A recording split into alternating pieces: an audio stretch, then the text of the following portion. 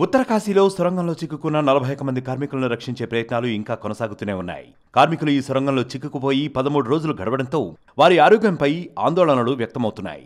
సొరంగం నుంచి బయటకు తీసుకొచ్చాక కార్మికుల ఆరోగ్యం కోసం ఏం చేయాలి? వారికి ఎలాంటి ఆరోగ్య సమస్యలు ఎదురవుతాయి? వంటి అంశాలను మానసిక నిపుణులు అంచనా వేస్తున్నారు. సొరంగంలో చాలా కాలం పాటు చిక్కుకొని బయటకు వచ్చిన వారిలో నిస్పృహ గందరగోళం కంగారు వంటివి ఉంటాయని అందుకే వారి మానసిక స్థితిని పూర్తిగా తెలుసుకుని తగిన చికిత్సను అందించాలన్నారు. ఇలా చేయడం వల్ల భవిష్యత్తులో వచ్చే మానసిక సమస్యలను నివారించవచ్చని నిపుణులు చెబుతున్నారు.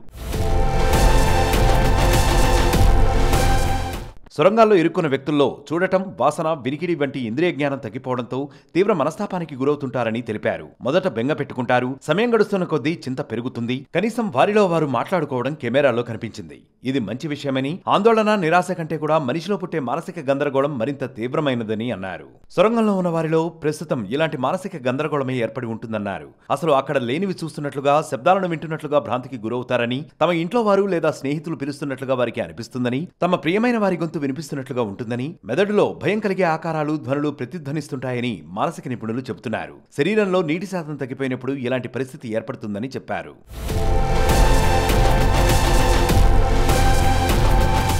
సొరంగంలో నుంచి బయటకు వచ్చిన తర్వాత కూడా ఎలాంటి లక్షణాలు కనిపిస్తాయన్న అంశంపై మాట్లాడుతూ సొరంగం నుంచి బయటకు వచ్చిన తర్వాత పోస్ట్ ట్రమాటిక్ స్ట్రెస్ డిజార్డర్ అనే లక్షణం కనిపిస్తుందని వైద్య నిపుణులు ఆందోళన వ్యక్తం చేస్తున్నారు.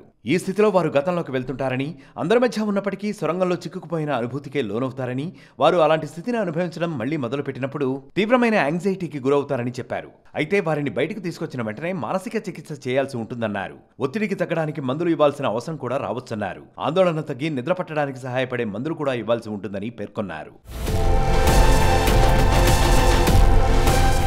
లోపల ఉన్న కార్మికులకు ఇప్పటికే బీపీ లేదా షుగర్ వంటి ఏదో ఒక వ్యాధి ఉన్నవారే. ఇలాంటి పరిస్థితుల్లో ఇంతకాలం మందులు తీసుకోకపోవడం వల్ల ఆ వ్యాధులతో వచ్చే ఇబ్బందులు పెరుగుతాయి. జీర్ణక్రియపై ప్రభావం కూడా పడుతుందన్నారు. నీరు తాకపోవడంతో మైకం రావడం మూత్ర విసర్జన తగ్గడంతో కిడ్నీలు పాడవుతాయని ఆహారం లేకపోవడంతో శరీరం బలహీనపడుతుందన్నారు. లోపల చిక్కుకున్న వారితో కుటుంబీకులు బయట ఉన్నవారు మాట్లాడుతుండటం చాలా ముఖ్యమని మానసిక నిపుణులు చెబుతున్నారు.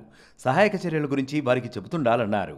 చలి కారణంగా కార్మికుల శరీర ఉష్ణోగ్రత తగ్గిపోతుందని ఆక్సిజన్ కొరత వల్ల ఊపిరితిత్తులు ప్రభావితం అవుతాయని శ్వాసలో ఇబ్బందులు ఏర్పడతాయని చెప్పారు.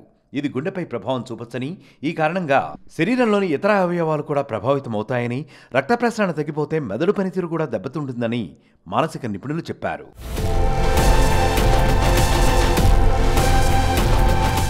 మరిన్ని వీడియోస్ కోసం ఛానల్ సబ్స్క్రైబ్ చేయండి. లేటెస్ట్ అప్డేట్స్ కోసం వాట్సాప్ ఛానల్ ఫాలో చేయండి. అండ్ లింక్ డిస్క్రిప్షన్లో ఉంది.